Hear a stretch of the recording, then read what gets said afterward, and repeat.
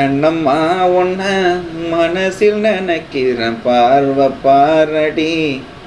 பெண்ணே நம்ம என்னதான் பண்ணாலும் எம்எஸ்வி சாரையோ இளையராஜ சாரையோ ஏஆர் சாரையோ தாண்டி ஒரு புது பாட்டு இங்கே பண்ணிட முடியாது. ஸோ தீனா கிட்ட வந்து உனக்கு வேணுமான்னு கேட்பாரு எனக்கு இது மேலே நம்பிக்கை வேணும் அப்படிப்பாரு வரும் அப்படின்னு சொல்லுவார். கட்டாயமா தீபாவளி பரிசு காத்திருக்கு. இந்த படம் வந்து எனக்கு என் என்னோட லைஃப்ல வந்து கைதி வந்து சாம வந்து ஓ சாம் வந்து இது நல்லா தான் பண்ணிட்டு இருக்காருல்ல அப்படின்னு சொல்ல வைக்கக்கூடிய ஒரு படமா இருக்கு. திடீர்னு ஒருத்தர் ஃபோன் பண்ணி சொன்னாரு சாம் இப்போ அடிச்சிட்டீங்க போகுது என்னங்க சொல்றீங்க? என்ன பண்ணுங்க கொக்கு செய்வ கொக்குனாரு எப்படி இருக்கீங்க? நல்லா இருக்கேன். நீங்க எப்படி இருக்கீங்க ரொம்ப நல்லா இருக்கும் அண்ட் கைதி தீபாவளி ஸ்பெஷலா ஒரு சூப்பரான ஒரு ட்ரீட் எங்களுக்கு காத்துட்டு இருக்கு கைதியில. அண்ட் கார்த்தி சார் சொன்ன வரைக்கும் வந்து இது ரொம்ப இமோஷனலாகவும் இருக்கும். அதுக்கு அதுக்கு ஈக்குவலா வந்து ஒரு தாக்கம் உங்களுக்கு ஏற்படுத்தும் அப்படின்னு சொன்னாங்க ஸோ அந்த படத்துல ஒர்க் பண்ண அனுபவம்? கைதி வந்து அதான் எமோஷ்னலான படம் அவர் சொன்ன மாதிரி. ஏன்னா ஒரு ஒரு அப்பாவுக்கும் பொண்ணுக்கும் நடுவில் இருக்கக்கூடிய ஒரு எமோஷன் இருக்குது இந்த எமோஷன் வந்து அவர் அப் தன்னோட பொண்ணை பார்க்கறதுக்காக வராரு. க ஒரு ஒரு என்ன சொல்கிறது ஒரு ஜெயிலேருந்து இருந்து பத்து வருஷமாக வந்து இது வரைக்கும் பொண்ணை பார்த்ததே கிடையாது வராரு. வரும்போது அவர் நடக்கிற ஸ்ட்ரகிள் ஒன் சைடு ஒரு ஒரு ஆழமான ஒரு ஒரு ஒரு ஒரு பாசம் அதில் இருக்குது என்னை பொறுத்தவரைக்கும் எப்படின்னா எந்த எமோஷனலாக எந்த படங்களும் பெருசாக ஹிட் சரித்திரமே கிடையாது. எனக்கு தெரிஞ்சு அது டைட்டானிக்ல இருந்து எவ்வளோ பெரிய இங்கிலீஷ் படமாக இருந்தாலும் அது எமோஷன் இருக்கணும். ஸோ இந்த படத்தை எமோஷன் கூடுதலாகவே இருக்கு. ப்ளஸ் அதை தாண்டி இதோட ஆக்ஷன் இதோட இதோட மேக்கிங் ஸ்டைலு எல்லாமே ரொம்ப டிஃப்ரெண்ட்டாக இருக்கும். அது ஒன் நைட்டில் நடக்கிற கதை ரொம்ப ஸ்க்ரீன் ப்ளே வந்து பயங்கர சூப்பராக இருக்கும். இது எல்லாத்தையும் தாண்டி இது படம் நான் பண்ணுறதுக்கான மெயின் ரீசன் என்னன்னா இதுக்கு மியூசிக் அவ்வளோ ஸ்கோப் இருக்குது இப்போ மியூசிக்கலி வந்து பார்த்தீங்கன்னா இப்போ இதில் வந்து ஹீரோயின் கிடையாது. ஆனால் படத்தில் ஹீரோயின் இருக்கிறாங்க. எப்படின்னா ஹீரோயின் ஒருத்தவங்க வந்து கார்த்திக் சார் வந்து அவங்கள பேசுகிறார் ஹீரோயினா யார் தெரியுமா? அவங்க யார் அவ யார் தெரியுமா? அப்படின்னு சொல்லி ஒரு டைலாக் பேசுவார். அதை பேசுறதுல வந்து இப்போ நீங்கள் வழக்கமான தமிழ் படமாக தான் என்ன பண்ணியிருக்கணும்னா அதுக்கு ஒரு ஹீரோயின் வச்சு அதை ஷூட் பண்ணி அந்த இதை புகுத்திருக்கணும். ஆனால் அது வந்து பண்ணலை. வெறும் எக்ஸ்பிரஷனில் அவரு கேமராமேனு மியூசிக் இது மூணுமே வந்து அந்த ஃபுல் எபிசோட வந்து என்னாகனா நீங்கள் ஒரு ஒரு ஒரு ஹீரோயின் இருக்கிறதுக்கான ஃபீலையே கொடுத்துரும். ஸோ என்ன சொல்ல வரேன்னா எண்டாத்துலேயே உங்களுக்கு எமோஷன் கன்வே ஆன போதுமே தவிர ஹீரோயின் தேவைங்கிற அவசியம் கிடையாது பார்க்கணுன்ற அவசியம் இல்லை. கட்டாயமா அதே மாதிரி வந்து பார்த்தீங்கன்னா சாங்ஸ் இந்த படத்தில் சாங்ஸ் இருக்கு Okay. ஆனால் என்னன்னா அந்த சாங் வந்து இப்போ வழக்கமான ஒரு டெம்ப்ளேட் இருக்கக்கூடிய ஒரு கமர்ஷியல் சாங் குத்து சாங் அப்படி இல்லை ஆஹா. இந்த படத்துல வந்து ஒரு சின்ன சின்ன ஒரு இங்கிலீஷ் சாங் இருக்கு. சின்ன சின்ன இடத்துல வந்து ரேடியோவில் ப்ளே பண்ற சாங் இந்த மாதிரி நிறைய சாங்ஸ் இருக்கு.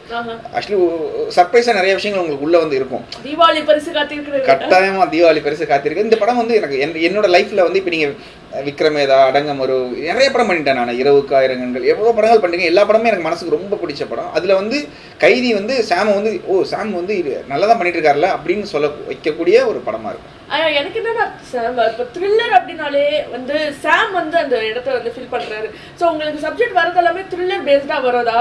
இல்ல எந்த மாதிரி நீங்க அந்த மாதிரி சூஸ் பண்றீங்களா? இல்ல ஆக்சுவலி என்னன்னா எனக்கு அப்படி த்ரில்லரா வருதான்னு கேட்கறத விட மியூசிக் பேக்ரவுண்ட் ஸ்கோர் ரொம்ப இம்பார்ட்டன்ட் உள்ள மூவிஸா வருது.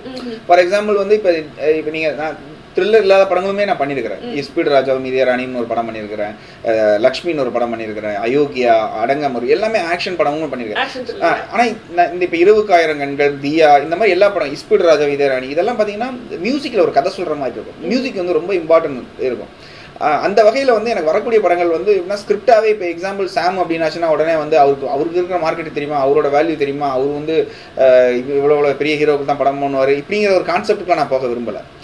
நல்ல ஸ்கிரிப்ட் ஒரு டேரக்டர் பண்ணிட்டாருன்னு வச்சுக்கோங்களேன். அது புது டேரக்டரோ பழைய டேரக்டரோ இல்லை சின்ன ஹீரோவோ பெரிய ஹீரோவோ ஆனால் ஸ்கிரிப்ட் சூப்பராக இருக்குங்க. இந்த ஸ்கிரிப்ட் கட்டாயம் ஜெயிக்கும் அப்படின்னு நினைக்கிற ஒரு டேரக்டருக்கு வந்து உடனே மைண்டில் வரக்கூடிய மியூசிக் டேரக்டர் சாமா இருக்கணும்னு ஆசைப்பட்றேன். ஏன்னா இப்போ அதுக்கான ஸ்கிரிப்ட்டுக்கு தான் ரொம்ப பஞ்சம் இருக்குங்க. ரொம்ப கதைங்கிறதே ரொம்ப கம்மி எல்லா படங்களும் ஸோ எதிர்காலம் வந்து கதையை நோக்கி தான் இருக்கும் இப்போ மலையாள மூவிஸ்லாம் எடுத்துக்கிட்டுன்னு வச்சுக்கோங்களேன். சின்ன படங்கள் தான் இருக்கும். பட் வந்து அதோட கண்டென்ட்டோட வேல்யூ வந்து இன்டென்ஸ் அதிகமாக இருக்கும். ஸோ அங்கே அங்கெல்லாம் இப்போ அப்படி தான் ஹிட் ஆகுது. ஆனால் அந்த ஒரு இது தமிழ்லேயே வரும். ஸோ அந்த வகையில் வந்து என்னன்னா நான் கண்டென்ட் ஓரியன்ட் மூவிஸ் நிறையா பண்ணுறதுக்கு ரொம்ப ஆசைப்பட்றேன். ஸோ பேக்ரவுண்ட் ஸ்கோருக்கு இம்பார்ட்டன்ட் இருக்கிற ஒரு கதை வந்து என்னை தேடி வருதுன்னு தான் நான் நினைக்கிறேன். ஓகே அடுத்ததான் ஒரு செக்மெண்ட் கூட போடுறோம் கதை கதை கதைன்னு சொன்னோடனே ஒரு கதை சொல்லட்டுமா சார் தான் செக்மெண்ட் இந்த பவுல்ல வந்து எந்த ஏதாவது ஒரு சீட் எடுக்கணும். அந்த சீட்ல ஒரு பேர் இருக்கும் படத்தோட பேரு. ஓகே அந்த படத்தோட கேரக்டரோ அதாவது ஹீரோ ஹீரோயின் மியூசிக் டைரக்டர் கருத்தோட பேர் எதுவுமே ரிவீல் பண்ணக்கூடாது. வெறும் கதை மட்டும் தான் சொல்லணும் ஓகே ஓகேங்களா எடுத்துட்டா யா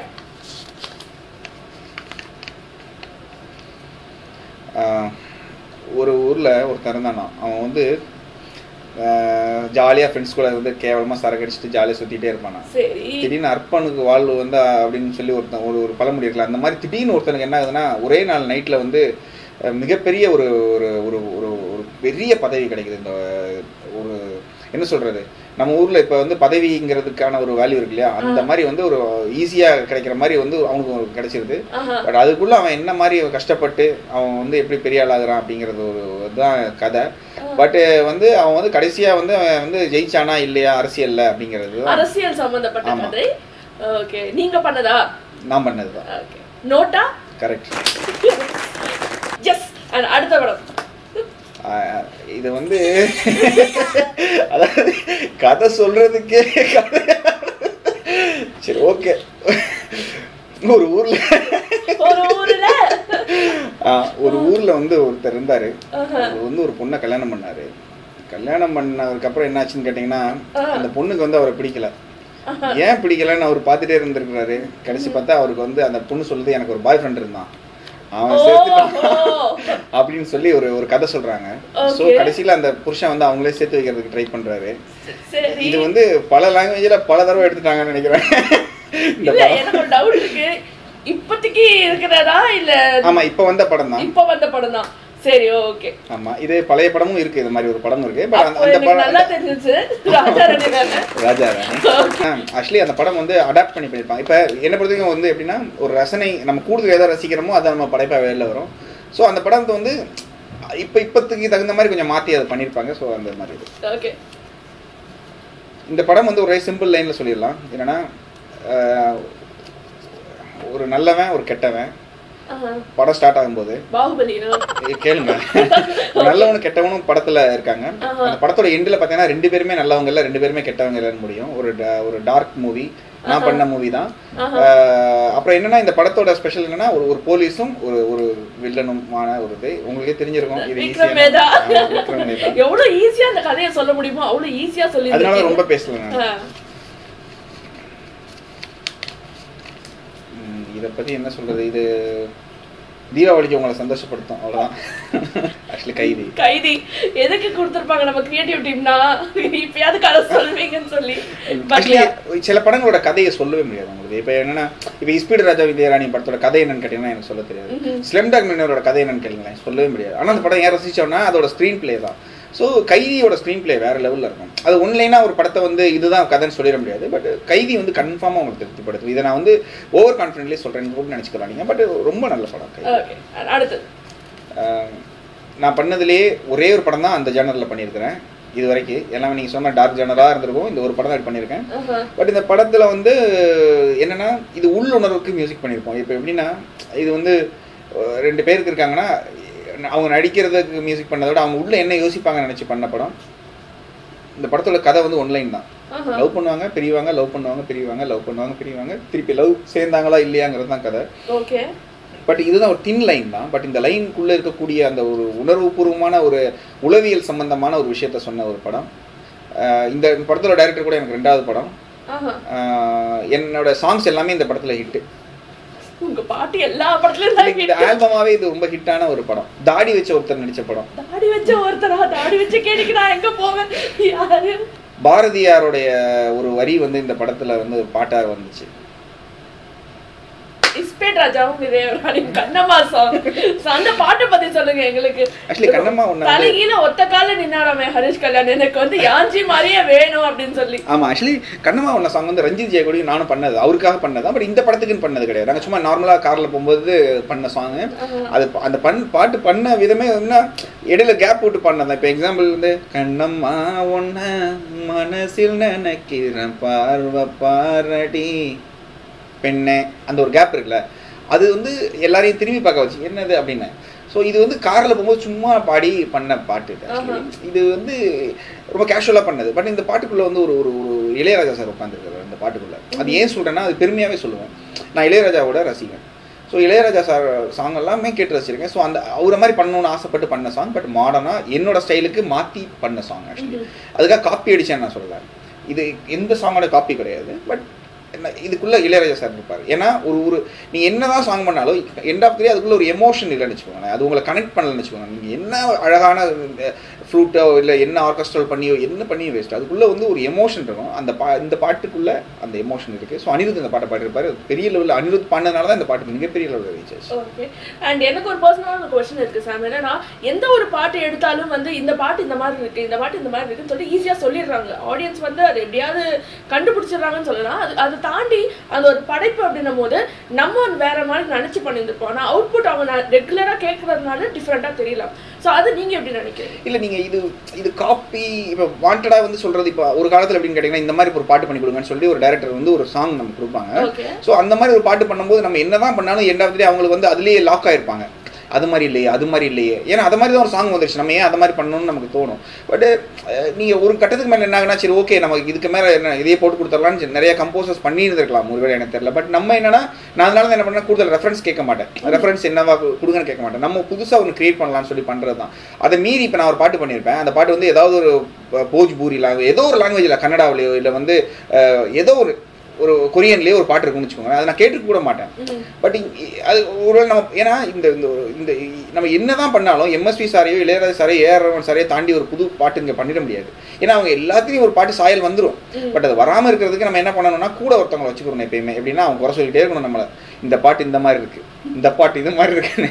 ஸோ நானும் அந்த மாதிரி ஒருத்தவங்களை வச்சிருக்கிறேன். எதுக்குன்னா இதை சொல்றதுக்குன்னே ஒருத்தவங்க இருப்பாங்க. இப்போ அவங்கள வந்து அவங்களுக்கே தெரியாது. பாட்டை போட்ட உடனே இந்த பாட்டு யார் தெரியுமா? எம்எஸ்சி பாடிருக்காருலன்னு ஒரு பாட்டு. ஆக்சுவலி வந்து எனக்கே தெரியாம வந்து ஒருத்தர் இருக்கிறாரு. அவர் வந்து வெள்ளை கனவுன்னு ஒரு பாட்டு பண்ணாரு வெள்ளை கனவு ஒன்று உள்ளே நுழைந்தது கண்கள் இருளுதடி. அதாவது ஹரிஹரன் சார் பாடிருப்பாரு ஹரிணி மேம் பாடிருப்பாங்க இந்த பாட்டு நான் சத்தியமா சொல்றேன். எந்த பாட்டையும் பார்த்து நான் அடிச்சது கிடையாது. நானா மைண்ட்ல இருந்து போட்ட ஒரு சாங் இந்த பாட்டு வந்து பயங்கர மெலடி பயங்கரமாக விஜய் சேதுபதி சார் வருவார் எல்லாம் பண்ணுவார். திடீர்னு ஒருத்தர் ஃபோன் பண்ணி சொன்னார் சாம் அந்த பாட்டு அடிச்சிட்டீங்க போல இருக்கு." என்னங்க சொல்றீங்க? எந்த பாட்டுங்கடா கொக்கு செய்வ கொக்குனாரு ஏங்க கொக்கு செய்வ கொக்கு. ஆமா இல்ல எனக்கே தோணுச்சு. ஓ கொக்கு செய்வ கொக்குக்கும் இதுக்கும் சம்மந்தமே இல்லையாங்க? ஓ ஆமா இல்ல. வெள்ளைக்கண ஒன்று கொக்கு செய்வ கொ ஆமாங்க. ஸோ என்னன்னா இது வந்து உண்மையாவே நான் வந்து ஏன் இவ்வளோ ஓப்பனாக சொல்றேன்னா அந்த பாட்டுக்கு அந்த ஒரு லவ் சாங் உட்காரும்போது யாராவது கொக்கு செய்வ கொக்கு பாட்டு கேட்பாங்க. அது ரொம்ப நல்ல பாட்டு பட் அந்த சுச்சுவேஷன் நல்ல பாட்டு. ஸோ இந்த மாதிரி தவறுதலாக வரக்கூடிய விஷயங்கள் இருக்கும். அது எல்லா கம்போசர்ஸுமே வரும். ராஜா சருக்கு கூட வரலாம். ஏன்னா அவர் இப்போ அவர் வந்து ஒரு ஆர்டி பர்மனோ அவங்களுடைய பாட்டை கேட்டுட்டே இருந்திருப்பாரு. ஸோ அதனால வந்து ஒரு சாங் போட்டது அது மாதிரி கூட வந்திருக்கலாம். பட் அது காப்பின்னு அர்த்தம் கிடையாது. இந்த உலகத்தில் ஒன்றுமே படை ஆல்ரெடி எல்லாமே படைக்கப்பட்டதுங்க. அதை வந்து இப்போ நான் எதை விரும்புகிறேனோ அது என்னோட படைப்பா வெளியில் வரும். அவ்வளோதானே தவிர எல்லாமே படைக்கப்பட்டது. இங்கே நான் நான் புதுசாக ஒன்று கிரியேட் பண்ணிட்டேன்னு ஒன்றுமே கிடையாது. சர்வ் பண்ணுறேன் அவ்வளோதான் நான் வந்து இதை கேளுங்க அப்படின்னு. எனக்கு காத்துல இருக்கக்கூடிய ஒரு விஷயம் என்ன பண்ணாலும் ஏதாச்சும் ஒரு சாங் இருக்கும். பட் நம்ம அதை தாண்டி இந்த நம்ம ஸ்டைலில் வித்தியாசமாக நம்ம மேக்ஸிமம் ட்ரை பண்ணி பண்ணுறக்கூடிய சாங்ஸாக வருது. அதில் வந்து மேக்ஸிமம் நிறைய ஹிட் ஆகுது. சிலர் வந்து சொல்லிடுறாங்க இது இந்த பாட்டு மாதிரி இருக்குது இந்த பாட்டு மாதிரி இருக்குன்னு சொல்கிறாங்க அதுக்காக நம்ம வருத்தப்படுறதே இல்லை. ஏன்னா உண்மையாகவே நான் வந்து அந்த பாட்டு அதே மாதிரி பண்ணணும்னு நினச்சி பண்ணி எல்லாரும் என்ன சொல்கிறாங்கன்னா நான் ஃபீல் பண்ணுவேன். இல்லைன்னா நான் பண்ணவே மாட்டேன். எனக்கு இது வரைக்கும் நான் பண்ண பாட்டுங்க எதுவுமே ஒரு பாட்டு சாயலாக இதே மாதிரி பண்ணணும்னு நினச்சி பண்ணதே கிடையாது. ஓகே சூப்பர் ஸோ இந்த இந்த இன்டர்வியூ நம்ம சந்தோஷமா அப்படி முடிக்க போறோம். எப்படின்னா கைதில இருந்து உங்களுக்கு பிடிச்ச ஏதாவது ஒரு டயலாக் வந்து நீங்க இப்ப சொல்ல போறீங்க எங்க ஆடியன்ஸ்க்காக ஆக்சுவலி என்னன்னா இது வந்து சர்ப்ரைஸ் தான். இருந்தாலும் நான் சொல்லிடுறேன். இவர் வந்து எனக்கு ரொம்ப பிடிச்ச டைலாக்னா ரொம்ப சின்ன டைலாக் ஒரே ஒரு டைலாக் இவர் வந்து ஒரு இடத்துல ஒரு பயங்கர பயங்கர டென்ஷனாக நடந்துட்டு இருக்கும் இப்போ இப்போ கொண்டுருவாங்கிற லெவலில் இருந்துட்டு இருக்கும்போது வந்து இவர் சாமி கும்பிடுவார். சாமி கும்பிட்டுட்டு விபூதி எடுத்து தலையில் நெத்தியில் இப்படி தேய்ச்சிட்டு சாமி கும்பிட்டு இருக்கும்போது பக்கத்தில் வந்து அந்த காமெடி பையன் உட்காந்துருப்பாரு தீனா. ஸோ தீனா கிட்ட வந்து உனக்கு வேணுமான்னு கேட்பாரு எனக்கு இது மேலே நம்பிக்கை இல்லைன்னு அப்படிம்பாரு.